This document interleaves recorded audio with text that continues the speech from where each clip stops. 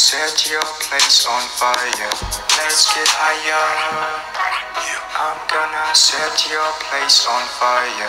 Let's get higher. I'm gonna set your place on fire.